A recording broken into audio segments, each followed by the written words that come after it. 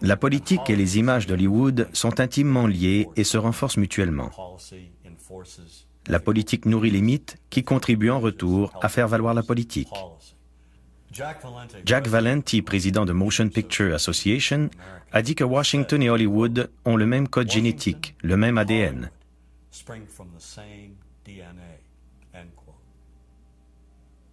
L'image de l'arabe a subi une transformation immédiatement après la Seconde Guerre mondiale.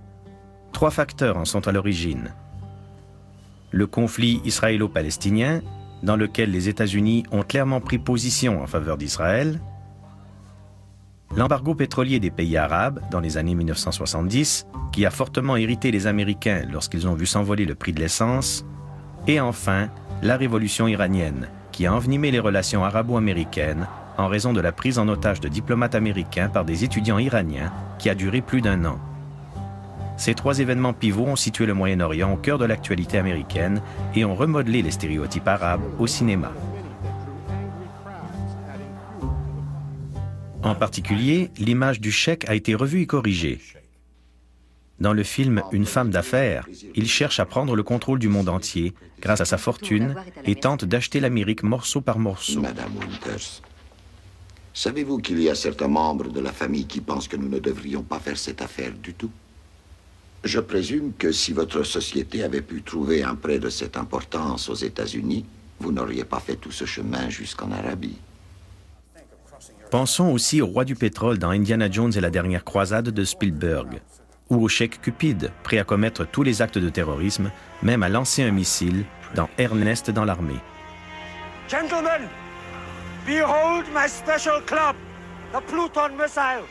With it, I will bring the infidels to their knees and be leader in the Arab world.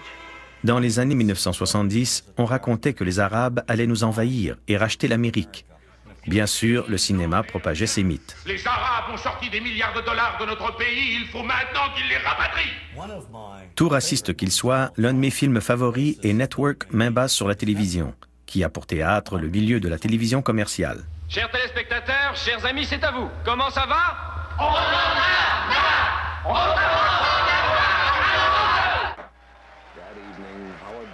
L'acteur principal est le présentateur vedette qui se hisse au sommet de la célébrité en lançant sur les ondes des diatribes contre le système dont les plus violentes sont dirigées contre les Arabes, qu'il accuse de vouloir faire main basse sur l'Amérique.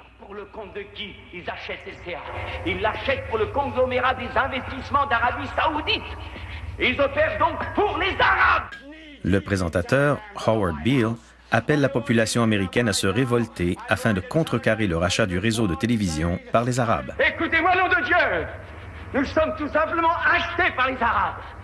Il n'y a qu'une seule chose qui réussira à les stopper sur place, vous La rage des Américains ainsi attisée donne lieu à une scène d'anthologie du cinéma. Maintenant. Je veux que vous vous leviez maintenant, levez-vous de vos fauteuils. Je vous demande de vous lever séance tenante et d'envoyer un télégramme au président Ford disant J'en ai plus que marre de tout ça et je commence à en avoir ras-le-bol. Je suis folle de rage, je commence à en avoir ras-le-bol. Je suis fou de rage, je commence à en avoir ras-le-bol. Folle de rage, je Je commence commence à en avoir ras-le-bol.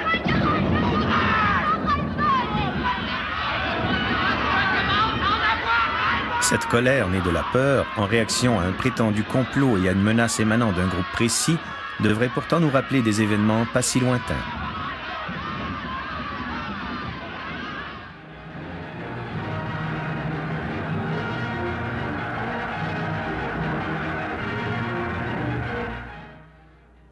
La propagande antisémite nazie reposait également sur la menace économique, et ce mythe s'infiltrait jusque dans les livres d'enfants. L'image populaire des Juifs dans la propagande nazie trouve malheureusement écho dans l'image de l'Arabe véhiculée par nos films hollywoodiens favoris. À la différence près que l'Arabe est généralement vêtu d'une longue robe et d'un foulard sur la tête.